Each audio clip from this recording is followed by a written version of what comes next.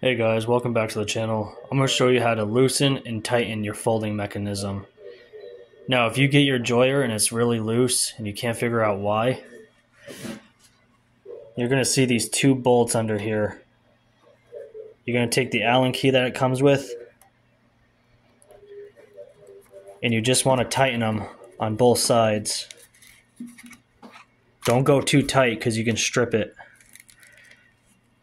What you want to do is tighten them until they're snug and that's going to make your folding mechanism not so loose. Or you can go super loose like this and you have no problem unfolding it.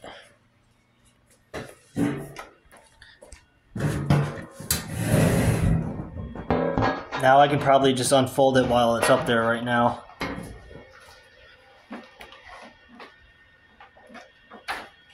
Just like that.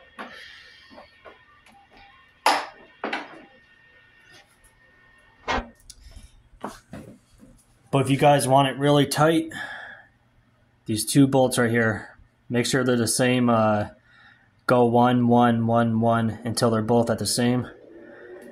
And then you just push it. Put your foot on the back kick plate and push the thing forward, and it's going to click into place. And that is how you loosen slash tighten the folding mechanism.